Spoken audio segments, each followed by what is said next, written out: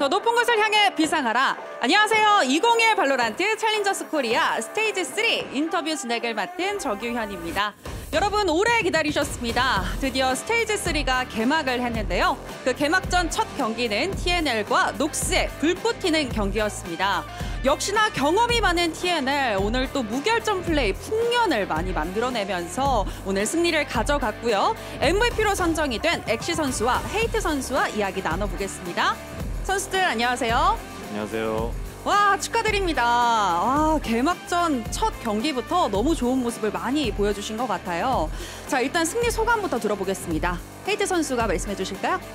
어, 개막전이랑 데뷔전을 좀 같이 해서 조금 떨렸는데 처음부터 이렇게 좀 이기니까 기분이 좋긴 해요. 아 맞죠. 헤이트 선수는 또 데뷔전이었는데 더욱더 기분이 좋으실 것 같네요. 엑시 선수는요?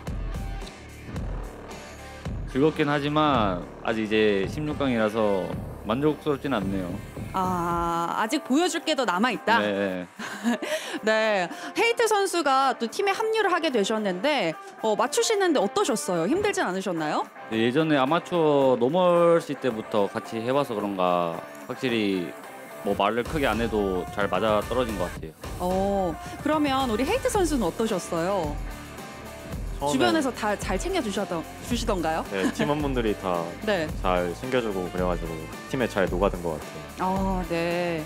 역시나 오늘 녹아드는 모습 제대로 보여주신 것 같은데 녹스를 상대로 이렇게 압도적인 승리를 가져갈 거라고 예상을 하셨나요? 예상은 했던 것 같아요. 아, 엑시 선수도 예상하셨어요. 네.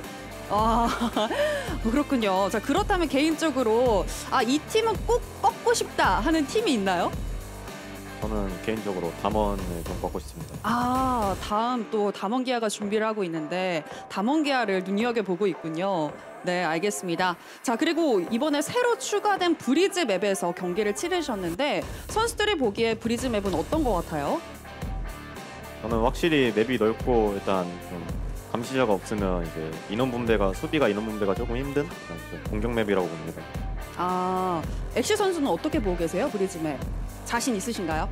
네, 일단 자신 있고요. 그리고 확실히 피지컬적인 부분이 많이 필요한 맵이니까 확실히 저희 팀이 자신이 있는 것 같아요. 아, 또 섹시한 aim을 가지고 있는 엑시 선수 아니겠습니까? 이 피지컬 하면은 엑시 선수이기 때문에 더욱더 자신 있게 이야기를 해주시는 것 같고, 오늘 헤이트 선수도 데뷔전 치고는 너무 좋은 모습 많이 보여주신 것 같습니다.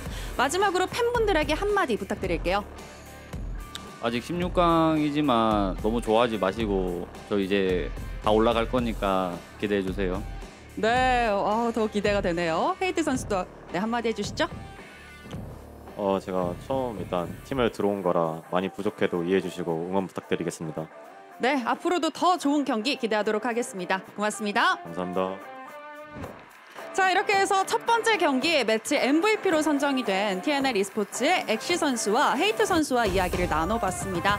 다음 경기는 담원기아와 또 고마가 준비를 하고 있는데요. 두 팀 모두 예선에서 3승을 하면서 올라온 팀이기 때문에 더욱더 기대가 되는 것 같습니다. 끝까지 채널 고정 부탁드리면서 저는 다음 경기 이후에 다시 돌아올게요.